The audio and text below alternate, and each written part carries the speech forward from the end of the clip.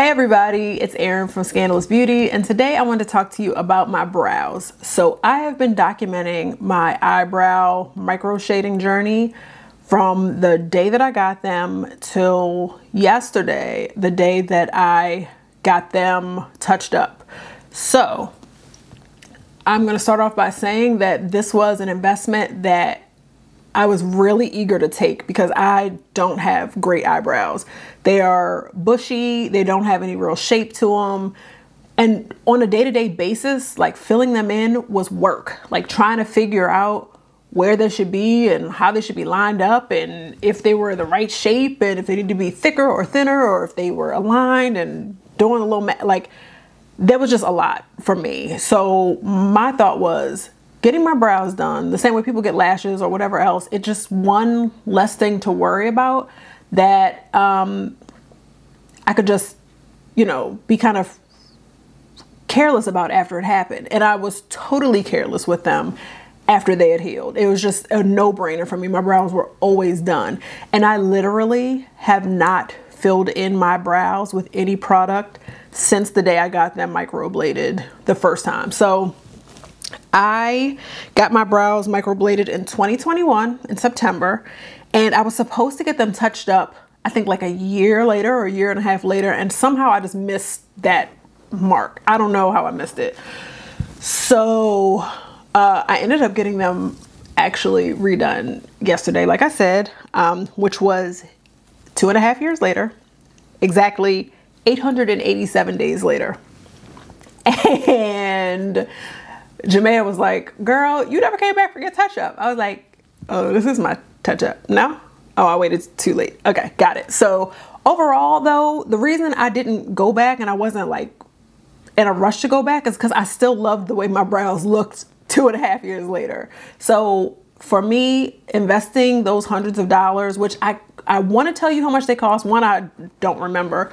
Two, I almost hesitate to hesitate to say it because I don't want you to investigate and like want to get your brows done and you see this video two years later and it costs $200 more.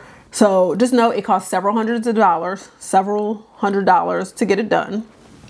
Um, but I honestly just don't remember how much either.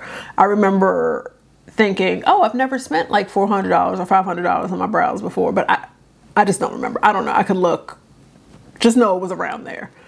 So, so now what I want to do is show you day one, before I got my brows done, what they looked like and what happened, how I healed, the before and after, um, what the day to day looked like from the scabbing, the itching, which was annoying. It wasn't unbearable.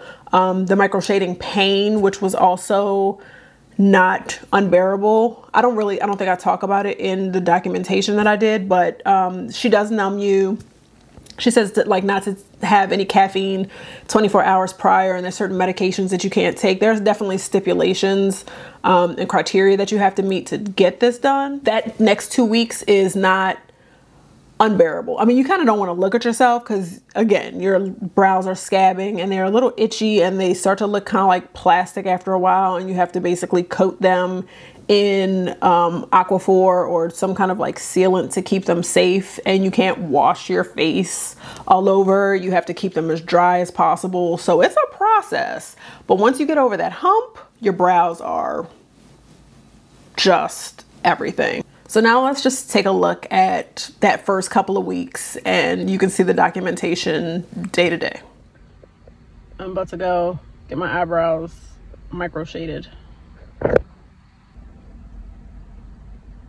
Mm. Mm. Mm-hmm. All right.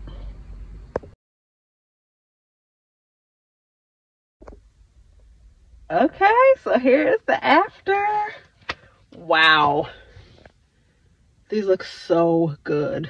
Like, so good. Look at that. Look at that. Holy moly. So, um, this is, of course, like the first few minutes after I got my brows done. So, there's going to be um, a lot of changes. The color is going to definitely soften. There's going to be like the ugly period with the scabbing and like the crusting and all that kind of stuff.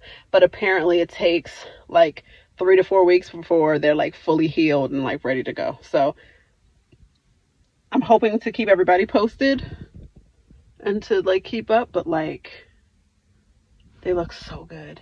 This is such a big difference. I love I love them. I absolutely love them. Shemay did an amazing job. Look at that. Look at that. I could not do that on my own. I love it. Even like with brow powder and concealer, like I could not do that. Like this looks so good. I just, I love it. I love it. Day two. It's almost been 48 hours. Okay, we're leaving. Lighter here. Okay, all right, let's go. It's day four, and I've hit the slightly itchy, definitely getting crusty phase. Ombre is coming in. But still like from here looking pretty good. All right day five. Peeling is here. As you see we're peeling a lot. Um, looks like some cracks here definitely some cracks here uh, it's giving plastic brow realness but um luckily you can't tell on zoom so Yep, there we go. Day five.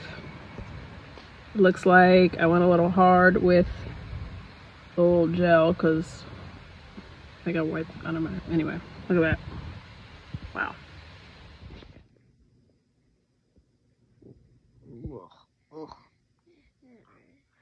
Ah, you can't pull it. Ah. Why not? Why not?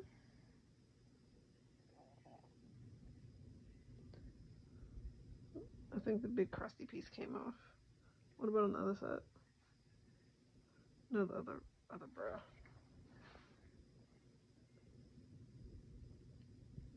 Yeah. That's not. It's gone. That's it. Oh. Wait a minute.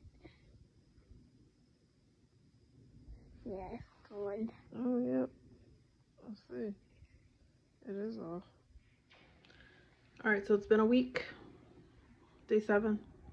A lot of the scabbing is starting to come off. Like, as you see, it's like here, but it's not here anymore. It's not here or here. Um, so, day eight. Ooh feeling like crazy. I don't want to see anybody. I don't want to leave the house. But um, we're getting there. All right, so it's day nine. Um, a lot of the scabbing has come off. It's just little little pieces here, um, like really little pieces. But um, we're getting there. I have a lot of uh, the little cream on there, so it looks a little gray. But um, looking good. It's day 12. I finally washed my face today for the first time. Brows are looking great. No little scabs or flakes left. So it's exciting. It's going up. Doing good. Loving the look still.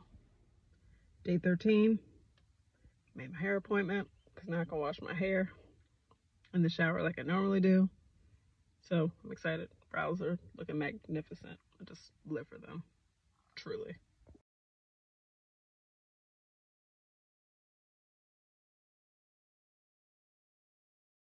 My daughter actually went and got a brow tint, a brow tint done. Her mom actually got micro shading too. And she had mentioned that I hadn't been back in a while. And I was like, dang, that's a good point. I haven't been back in a while.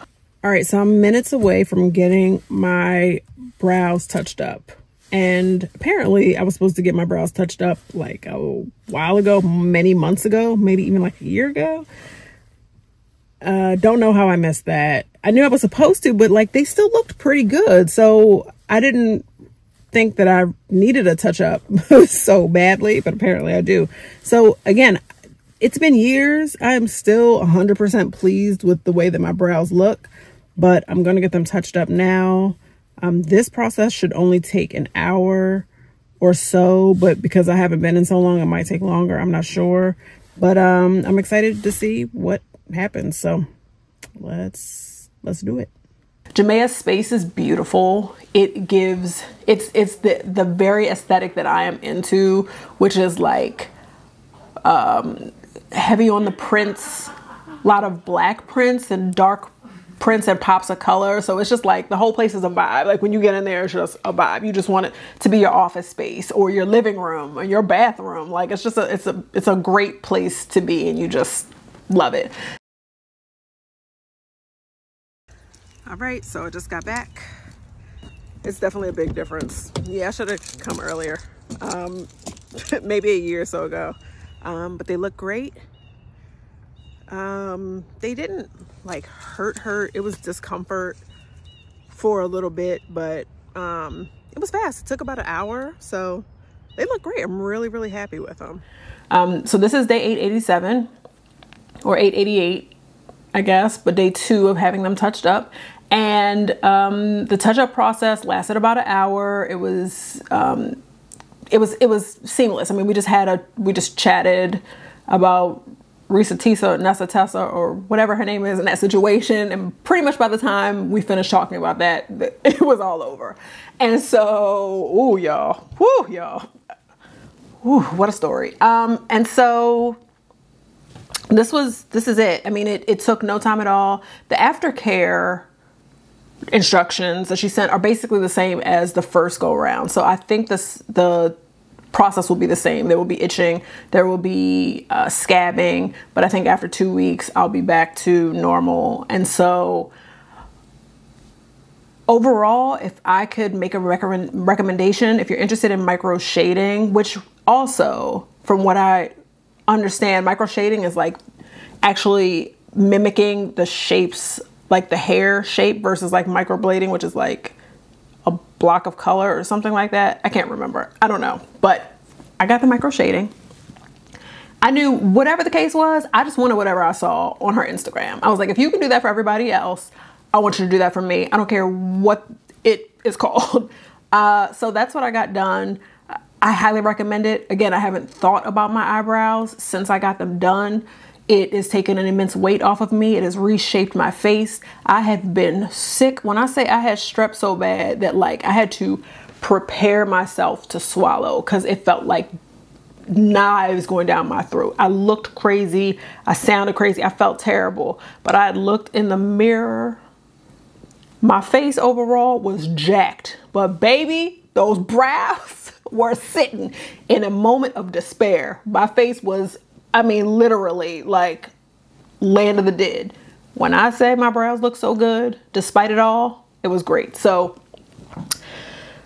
I have two weeks until I can, again, wash my face thoroughly and all that. So I'm just kind of spot, I'm washing down here and then I'm using micellar water on my forehead and around the area, uh, Aquaphor on the brows as they heal, um, that kind of thing. Um, she's great. The customer service was great. She was efficient. Um, there were no hiccups, there were no questions. We got through it all, and it was just a great overall experience.